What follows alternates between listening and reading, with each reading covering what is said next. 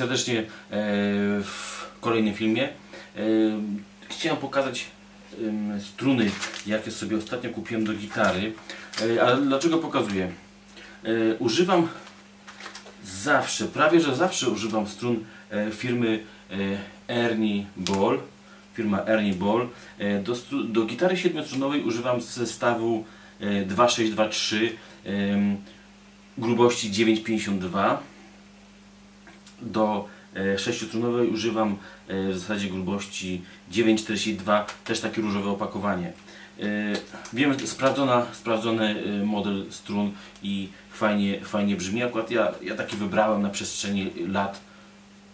Zacząłem używać po prostu tego, zawsze standardowo. E, chciałem pokazać coś ciekawego. Zestaw 942 e, Ernie Ball Paradigm, tak się nazywa e, model e, tych strun, z takim orłem.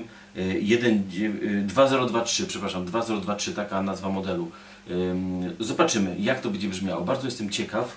E, Zobaczymy, jak to będzie e, w porównaniu jedne, e, jedne do drugich. No, w zasadzie Wojtas się chwali, że kupił struny, ale e, do czego zmierzam? Do tego, żeby testować struny, żeby e, przetestować, testuj sobie struny wszystkich firm po kolei.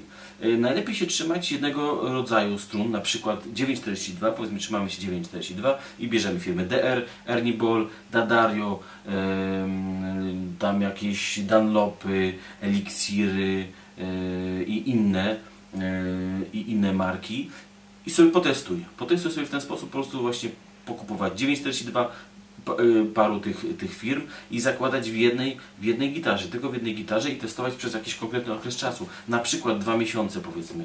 Zakładam, trzymam dwa miesiące, później y, zakładam kolejną, y, kolejną markę. To też jest fajne, że, że kupujesz struny, to kupujesz już kilka, kilka paczek, prawda, i do testowania. Najpierw to, później to, później to, później to i tak dalej, no nie?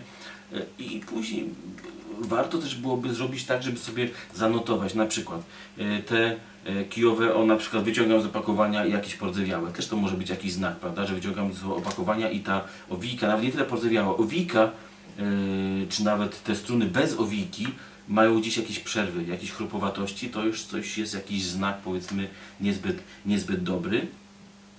Ale sobie notować właśnie przy konkretnych modelach strun, przy konkretnych firmach, notować sobie e, pewne jakieś e, cechy szczególne, które się zauważyło. Wiem, że to jest takie podejście trochę może takie naukowe, ale z drugiej strony gitara to jest fajna sprawa i testowanie, testowanie osprzętu, testowanie różnych akcesorów też jest bardzo, bardzo fajne. Poza tym twój, y, twoje brzmienie gitary brzmi tak dobrze jak najsłabsze ogniwo. Czyli jeżeli masz kijowe, kijowe struny, to, to brzmienie będzie takie średniawe. Wiadomo, nie można y, wyrównywać, że na przykład gitara równa się wzmacniasz, na przykład, prawda, że to jest to samo. Czy piórko, y, mam kijowe piórko, to mesa będzie brzmiała na przykład źle, prawda, więc to też trzeba jakoś uśrednić, ale trzeba o tym pamiętać. I warto sobie to testować, warto sobie sprawdzać, y, warto kombinować. I akurat no, Użyłam firmy Ernie Ball, więc jakby tutaj sobie zobaczyłem, że taki jest nowy zestaw, zamontuję sobie do mojej gitarki z Floydem.